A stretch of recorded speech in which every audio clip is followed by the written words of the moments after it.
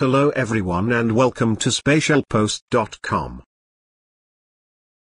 In this video, we will show two methods for converting KMZ to KML file. If you like to learn more about the Google Earth, you can check my other videos.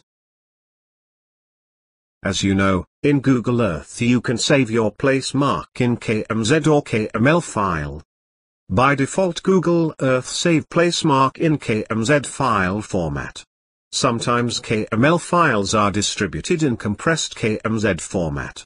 If you are facing this issue, then this video is for you. Here you can see, I have a KMZ file. Let me show you the file extension. Type of file is KMZ.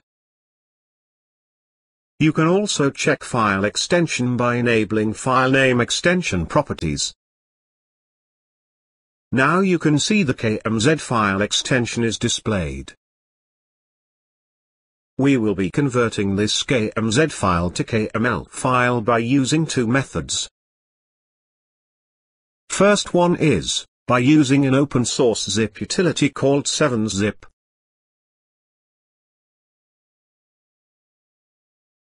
You can download and install this utility as per your computer architecture, 32-bit or 64-bit. I have already installed this on my computer. Just right-click the KMZ file and select 7-zip and then extract to option to extract this KMZ file. It will extract the KMZ file in a folder with the same name.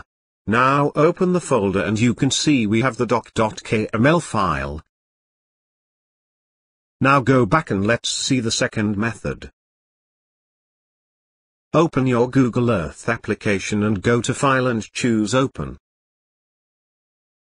Select your KMZ file and choose Open. Your KMZ file data will zoom to correct location in Google Earth application, now right-click on the placed marks and choose Save Places option.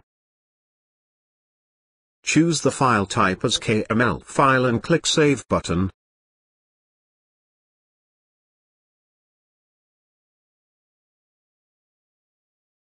Now you can check we have converted our KMZ file to KML file. Thanks for watching this video. Please make sure you like this video, subscribe spatialpost.com YouTube channel and share this on social media. Visit spatialpost.com for more details.